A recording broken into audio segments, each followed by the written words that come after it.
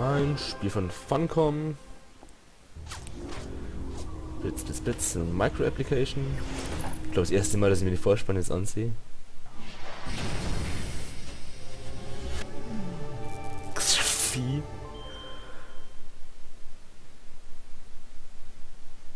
Und der rote Bildschirm. Quack, quack, quack, quack, quack. Halt dich für ein Gerücht. So, das sind wir dann auch schon im Hauptmenü. Wie ihr vielleicht schon am Bildschirm sehen können oder in der Überschrift, äh, spielen wir Dreamfall The Longest Journey, den Nachfolger von The Longest Journey. So, schauen wir mal ein, was wir alles einstellen können. Video. Passt alles. Moves. Ist auch alles, das Tour, schon gehen, bla, wird denke ich mal noch alles erklärt. Wow, der Sound ist sau hoch. So, ich hoffe, das wird so mal hinhauen. Werden sie dann mal sehen. Beenden. Ja, jetzt, haha. So, ich habe schon mal angezockt, ich habe es auch schon, wie es rauskam, schon gezockt. Bin nicht ganz durchgekommen, aber schon ziemlich weit. Und jetzt schätze ich mal, dass ich es mit euch mal ganz durchschaffen werde. Neues Spiel. Ja, wie schlimm. Schöne Ladebildschirm. Überhaupt alles sauschön gemacht in dem Spiel. Und jetzt bin ich mal still. Verdorben.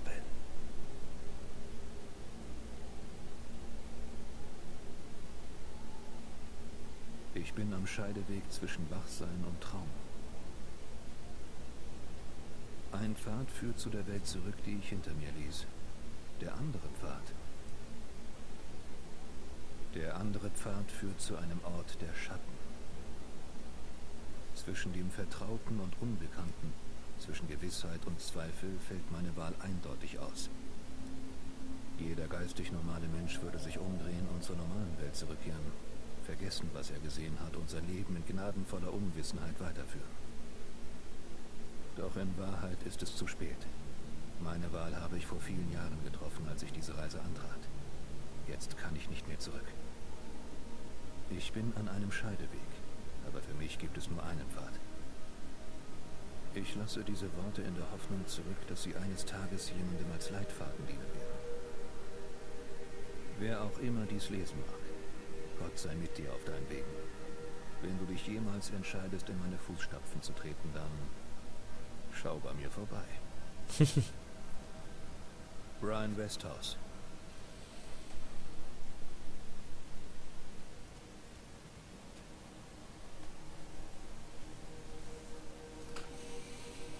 Wir sind bereit, Reisender.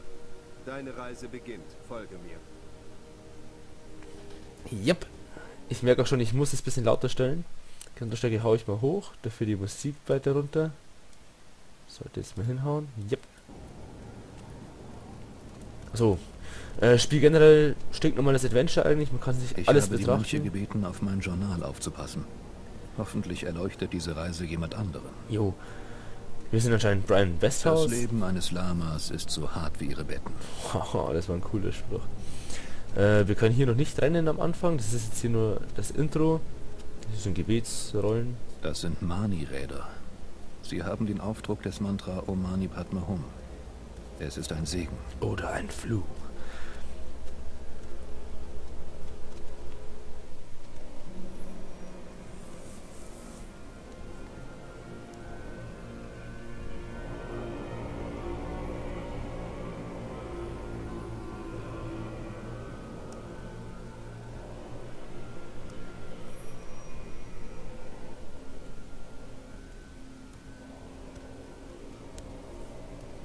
Mhm. Sprechen wir nochmal nochmal an. Wer meditiert?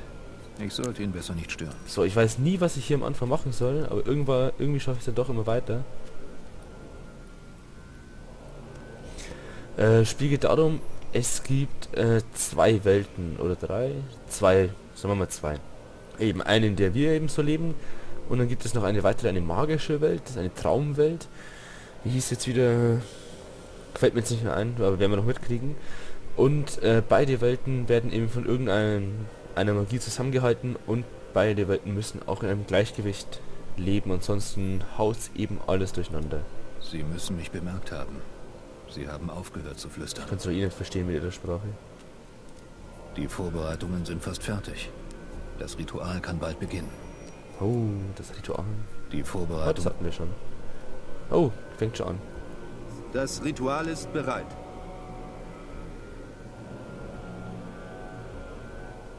Steig auf das Podium, Reisender. Auf geht's, Baby. Sprechen? Bitte, Reisender, steig auf das Podium. Okay. Und ab geht die Post.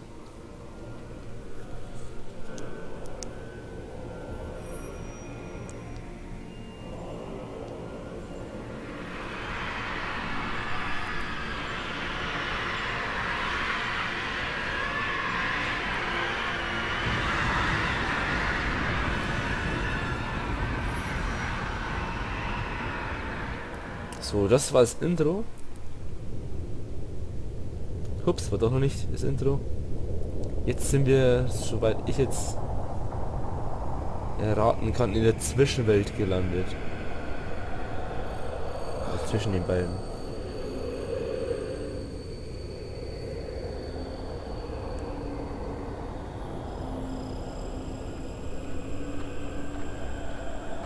Was? Was machst du hier? Du darfst gar nicht hier sein. Es wird dich finden. Was zum... Wo bin ich? Was ist das für ein Ort?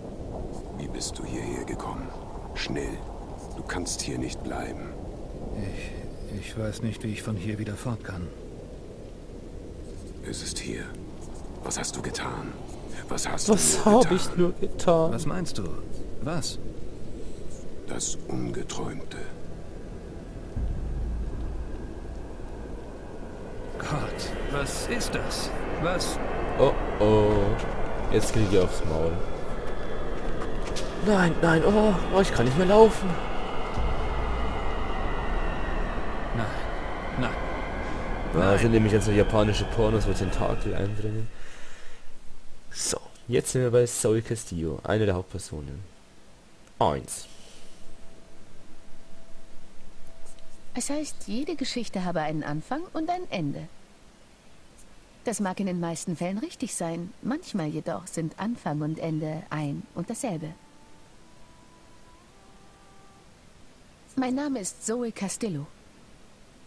Normalerweise bin ich nicht so blass, aber so sieht man nun mal aus, wenn man im Koma liegt. Das ist mein Vater Gabriel.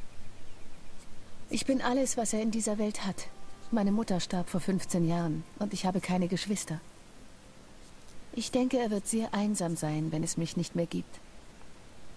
Ich wünschte, ich könnte nur noch ein einziges Mal mit ihm sprechen, ihn wissen lassen, dass alles okay ist. Aber das wäre eine Lüge. Das Einzige, was ich sagen könnte, wäre, leb wohl. Da ich in diesem Bett liege, aber trotzdem zu euch sprechen kann, muss dies wohl so etwas wie eine außerkörperliche Erfahrung sein. Ich bin nicht sicher, ob ihr mich hören könnt, aber ich habe kürzlich Erlebnisse mit Stimmen aus dem Jenseits gehabt und somit gebe ich diesem hier eine Chance. Schlimme Dinge sind passiert und jeder, der die Wahrheit kennt, ist entweder tot oder vom Angesicht dieser Welt verschwunden. Falls ich zu jemandem durchkomme, zu irgendwem, kann vielleicht etwas getan werden. Wenn ihr mich also wahrnehmen könnt, bitte hört zu. Dies ist sehr, sehr wichtig. Vielleicht ist es das Wichtigste, was es je gab. Bitte verzeiht mir, wenn ich jetzt das älteste Klischee der Literatur benutze. Alles begann damit, dass Und wir entschwenden auf dem Balkon. Wirklich sehr schöner Einstieg. Gehen die Türen auf? Gehen sie auf? Gehen sie auf? Nein, sie gehen nicht auf. Wunderschöner Strand. Schade, dass Zoe davon nichts mitbekommt. Oh, aber richtig schön gemacht. Kameraführung. Dreamfall. Hey. diese unglückliche Kuh zum Implodieren gebracht. Ryan? Ein würziger Fleischklops. Irren ist menschlich, Zwei aber vergeben zuvor. ist rindlich. Hm.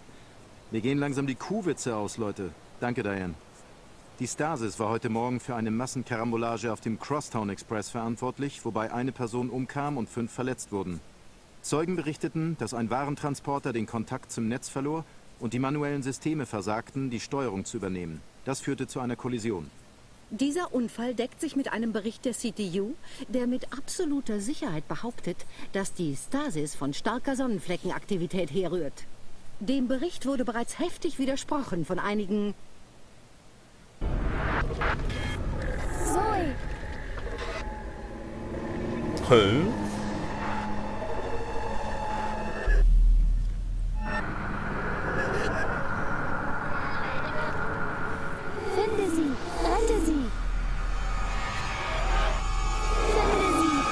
sie! Was war das? Muss irgendeine Viruswerbung gewesen sein. Und unser Vatia kommt.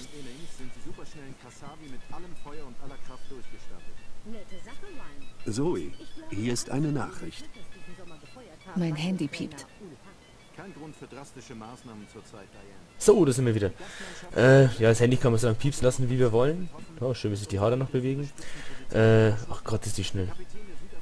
Äh, ja, nochmal zur Erklärung. Wir sind jetzt hier in der normalen Welt, vielleicht ein bisschen zukunftsträchtig eben. Und es gibt eine sogenannte Stasis. Stasis ist einfach nur totale Überwachung in dieser Welt. Sprich, egal wo wir sind, hier ist Stasis, da ist Stasis und da ist Stasis. Stasis ist sozusagen das Internet und es ist in der Welt allgegenwärtig und man wird dadurch kontrolliert. Schauen wir das Bett an. Da kann ich meine Kissen stapeln. Wow, sowas wollte ich schon immer im Bett haben. Der Fernseher. Ich musste Dad eine Million Mal nerven, ehe er mir dieses im Fenstersystem kaufte. Er glaubt, dass ich zu viel Zeit vor dem Fernseher verbringe. Hm, Da hat er nicht unrecht. Und aus. Central. Screen aus. Shay. Na, können wir jetzt weiter? Da ist eine Nachricht auf meinem Handy. Da ist eine Nachricht Ja, auf kann meinem ich ihn mal Handy. ansehen? Ah, jetzt. Muss ich näher rangehen. Dies ist eine automatische Erinnerung, gesendet von... Shit. Die Sporthalle. Ach na, wir wollten doch zur Sporthalle. Drücken Sie M, um auf das Mobiltelefon zu ach, ums Handy anzusehen. Dies ist eine au- automatische Erinnerung der was bezüglich deines Termins in der Sporthalle. Bedauere es nicht, wenn du zu spät kommst, sondern komm einfach rechtzeitig. Was haben wir noch? Info? Ach, das sind die letzten Gespräche. Und das ist einfach nur mein Journal. Schauen wir uns doch mal die Quartier an. Ich habe doch schon M gedrückt.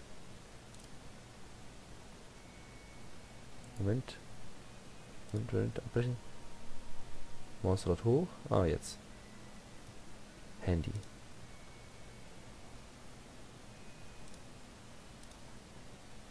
Was haben wir hier? Schraubenschlüssel anziehen. Achso, da kann ich dann Gegenstände zusammenfassen, wie in jedem Adventure. Brauchen wir jetzt nicht. Ich würde es gerade gern irgendwie wieder... Ah, aufs Maus drücken. Okay. Haben wir das auch wieder? Sprechen mit Matthias. Matilda, wie auch immer. Ja, Hallo, Wonkas heißt unsere. Zoe, möchtest du ein Spiel spielen? Nicht heute, Und ich bin nicht in Stimmung. mehr. Oh, okay. Was haben wir denn? Schauen wir doch unseren Terminplan an. Was steht denn heute auf meinem Terminplan, Wonkas? Nun, da wäre die Sporthalle um 11.30 Uhr. Richtig. Und danach? Und die Party heute Nacht. Es gibt nichts davor? Nein, Zoe, das ist alles. Ich brauche wirklich einen neuen Job. Ja, wir sind anscheinend arbeitslos. Ich glaube, wir haben uns als Student probiert, bin mir jetzt aber nicht sicher. Wie lauten die Schlagzeilen heute? Gagan Galanka wurde letzten Abend mit dem chinesischen Model Vivian Su in Europolis, in dem protzigen Nachtclub Bitte gesehen. Augenzeugen sagten, Hm, nein. Die nächste Story bitte. Der Kasavi-Playboy Baptiste Messert schockierte seine Zuschauer mit Seine Penis. Überspring die Klatschspalten. Gibt's nichts anderes? Es stellte sich heraus, dass der Bingo-Diätwein mehr Kalorien hat als... Gibt es keine richtigen Nachrichten? Du hast mich auf Unterhaltungsnachrichten, Schlagzeilen und Schlankheitskuren programmiert, Zoe. Wenn du meinen Newsfilter anders programmieren willst, ist das ganz einfach. Nein. Ich glaube, dass ich mir einen Newsfeed-Zugang einrichten werde. Eben, du kleines Ding bist überflüssig geworden. Langweilt dich das nicht, hier immer nur in meinem Zimmer zu sitzen? Mich schon. Ich langweile mich nicht. Ich denke eine Menge. Wirklich? Was denn? Über die schönen Zeiten, die wir miteinander hatten, Zoe. Diese Erinnerungen machen mich glücklich. Wonkas, das ist traurig. Warum? Ich wurde nicht programmiert, um mich schlecht zu fühlen, Zoe. Ich wurde programmiert, immer glücklich zu sein. Du Glücklicher. Ich wünschte, ich wüsste, was das für ein Gefühl ist. Tja, musst du eine Arbeit suchen, vielleicht kommt dann mal wieder dein Leben in Schwung. Ich muss mich auf die Socken machen. Bist du sicher, dass du kein Spiel spielen willst? Wir haben so lange kein Spiel mehr gespielt. Tut mir leid, Wonkas. Ich hatte in letzter Zeit keine Lust, Spiele zu spielen. Wie du willst. So, bevor wir gehen, sollten wir uns aber noch einen schicken Fummel anziehen. Was für ein Chaos. Hier, schau mal an. Dieser Schrank ist definitiv nicht groß genug für mich. Ich wollte schon immer einen richtigen Ja, Ankleideraum ein haben. Los, aufmachen. Und wir schauen auch, was für ein Fummel drin ist. Diese Klamotten sind sauber, Ja, denk denke ich. So, dürfen wir natürlich nicht sehen. Hihi.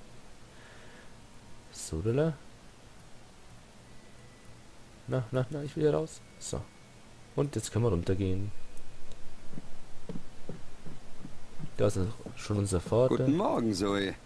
Dad, was tust du noch zu Hause? Meinen Kaffee trinken? Der Zug fährt nicht vor 1 Uhr und ich dachte, dass ich zur Abwechslung noch ein wenig schlafen könnte. Zug?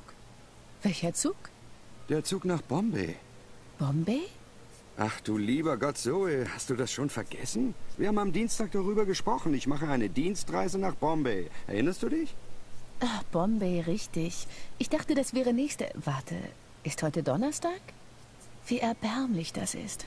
Ich weiß nicht einmal mehr, welcher Tag es ist. Nun, wenigstens bist du Vormittag wach. Das ist ja schon etwas. Hast du irgendwelche Pläne heute Morgen? Ich meine, was davon noch übrig ist. Ich gehe ins Training. Siehst du? Du hast doch noch eine gewisse Hingabe für etwas. Entweder das oder ich studiere wieder die Stellenanzeigen und werde depressiv wegen all der Jobs, für die ich nicht qualifiziert genug bin. Wenn du so empfindest, warum gehst du dann nicht wieder auf die Schule? Dad, fang nicht wieder damit an. Es tut mir leid, Zoe, aber ganz offensichtlich bist du hier nicht glücklich. Ändere deine Situation. Biotech ist nicht das Einzige, was Kapstadt zu bieten hat. Himmel, warum willst du die Universität nicht wechseln? Ich werde dir helfen. Bombay hat eine großartige Schule für Biotechnik. Ich könnte vorbeischauen, während ich dort bin.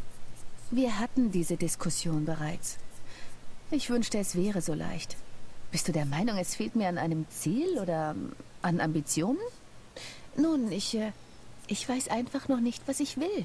Würdest du bitte Verständnis dafür aufbringen? Ich brauche Zeit. Okay, okay, ich werde dich nicht drängen. Ich bin glücklich, dich wieder daheim zu haben, Zoe. Ich hasse es nur, dich so zu sehen. Ich auch, Dad. Ich auch. Ist ja gut, dass wir dasselbe denken. So, der Mädel, reden wir mal ein bisschen mit deinem Paps. Hör zu, Dad. Würdest du es schlimm finden, wenn ich heute Abend ein paar Leute einlade? Du fragst mich, ob du eine Party geben kannst? Nein, keine Party. Mehr so etwas wie eine. eine Soiree. Ist recht. Ich hoffe, dass es keine Jungs oder Alkohol auf dieser Soiree geben wird. Es wird bestimmt keine Drogen geben. Wie fändest du das? Du weißt, wie man Dinge relativiert, Zoe. Einverstanden. Wann hast du jemals meine Erlaubnis dazu gebraucht? Ich weiß, wie man mit dir spielt, Dad. Das tun alle Töchter auf diese Art, nicht wahr? Ja. Was macht denn überhaupt auf seiner Dienstreise? Was machst du eigentlich in Bombay? Wir unterzeichnen einen Vertrag wegen der neuen Biotech-Ausrüstung und Sie brauchen mich, um die andere Seite einschätzen zu können. Oh, das hört sich wirklich, wirklich langweilig an. Ich dachte, dass du mehr im Labor arbeiten wolltest. Das tat ich und das tue ich. Das passiert eben, wenn du befördert wirst. Geschieht dir recht dafür, dass du so eifrig warst. Wann kommst du denn zurück? Ich bin nicht sicher. Es könnte ein paar Tage oder auch zwei Wochen dauern. Wirklich? Zwei Wochen? Dann habe ich das Haus für mich allein. Ich meine, ich muss zwei Wochen allein sein? Ja, und wir sprachen auch am Dienstag darüber. Oh, entschuldige. Meine Gedanken waren gerade anderswo. Bei Genau, was ich Schwänzen. sagte. Kaufst du mir etwas in Bombay? Etwas Exotisches? Vielleicht so etwas wie einen Wecker? Lustig. Ja, ja. Wie geht es mit deiner Arbeit voran? Bist du in Ordnung? Weißt du, ich erinnere mich gar nicht mehr an das letzte Mal, als du mich nach meinem Job gefragt hast. Hm. Nur noch ein Witz. Hey, ich versuche eine interessierte Tochter zu sein. Glaubst du mir das nicht? Schon gut, schon gut. Tut mir leid. Die Arbeit ist gut. Die Beförderung hält mich ziemlich auf Trab. Ich hab's bemerkt. Wir haben seit dem Weihnachtsabend nicht mehr zusammen gegessen. Das ist schade. Was hältst du davon? Ich verspreche dir, für dich zu kochen, wenn ich von Bombay zurückkomme. Oh, Spaghetti. Ich dachte mehr an einen Salat. Oh nein. Versuchst du mir zu sagen, dass ich abnehmen soll? Na schön, dann Spaghetti. Sieht doch wirklich gut aus, die alte. Ja, nochmal, nochmal. Also gibt es bei deiner Arbeit irgendwas Neues? Abgesehen von dieser Reise? Nicht wirklich, nein. Das Ganze ist ziemlich langweiliger Stoff. Komm schon, ich studierte ebenfalls Biotechnik, vergiss das nicht. Ich weiß ganz genau, wie langweilig das sein kann. Das ist wahr. Ich habe vergessen, dass meine wunderschöne und talentierte Tochter dachte, dass es eine gute Idee wäre, in meine Fußstapfen zu treten. Du musst dir darüber keine Sorgen mehr machen. Ich bin jetzt die wunderschöne und talentierte Aussteigertochter. Du hast mit der Tradition in wahrem Castillo-Stil gebrochen. Ich muss mich beeilen. Ich sollte bereits beim Training sein. Hab eine gute Reise, okay? Du weißt nicht sicher, wann du zurückkommst? Es könnte eine Weile dauern, je nachdem, wie die Inspektionen vorangehen. Und ich muss mich noch um ein anderes Geschäft in Bombay bemühen. Wirklich? Was ist es? Oh, nur Arbeit. Es gibt mehrere Biotech-Zentralen in Bombay und ich muss an einigen Sitzungen teilnehmen. Ruf mich an, wenn es irgendetwas gibt. Wenn ich nicht gleich abhebe, bedeutet es, dass ich in einer Sitzung bin oder innerhalb eines Sicherheitsbereiches. Ich rufe dich zurück, sobald ich kann. Ich verspreche es. Bye, Dad. Mach's gut, Liebling. Ja, ja. Ja, halt's Maul, ich will jetzt endlich hier sturmfrei haben, ne? hier Party schmeißen, Ich kann mich nicht erinnern, wann Ja, Dad und ich zuletzt langen- gemeinsam beim Abendessen äh, saßen. Zuckerstangen. Reimt sich auch noch. So. Bye, Dad. Wow. Pass gut auf dich auf, okay? Das werde ich. So, und wir gehen nach draußen zum Richtung, äh, Richtung Training. Werden aber hier mal abbrechen. Das war jetzt das Intro von Dreamfall. Beziehungsweise wir sind eigentlich noch in der Intro-Phase. Jo, schauen uns hier noch ein bisschen die Gegner an, in denen wir wohnen. Und dann geht, denke ich, auch gleich mal die Action los. Bis zum nächsten Mal.